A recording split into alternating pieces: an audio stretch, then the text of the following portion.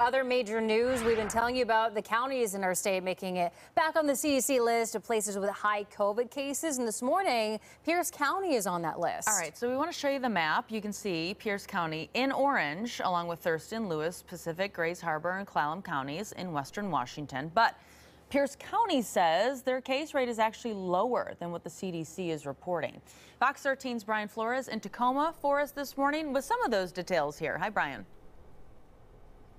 Liz in uh, China. Good morning to you guys. Well, according to the Tacoma Pierce County Health Department, the reason why there is a discrepancy is simply because they use a different data set than what the CDC uses. But whether you look at the county's dashboard or the CDC dashboard when it comes to COVID cases, they both show that cases are on the rise here. Now, if we break down the numbers even further, according to the CDC, they report that there are about 237 cases per 100,000 people within Pierce County.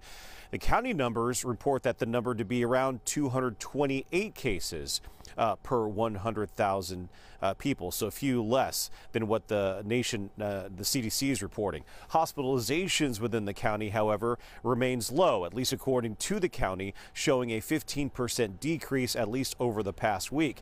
The CDC report, though, recommends that again because these cases are rising, that people uh, they recommend that people mask up in indoor public spaces and public transportation transportation. And as we've reported, we just saw six western Washington counties Thurston, Lewis, Pacific, Grays Harbor, and Clallam counties have high transmission rates. Again, according to the CDC, that's on top of nine counties in eastern Washington. They're considered high transmission rates as well. The concern, though, going into this and over the next week are, are uh, the numbers that will show uh, from the July 4th gatherings that we saw uh, just a couple of days ago. By the way, King and Snohomish counties, their transmission rates remain at the medium, at least for now.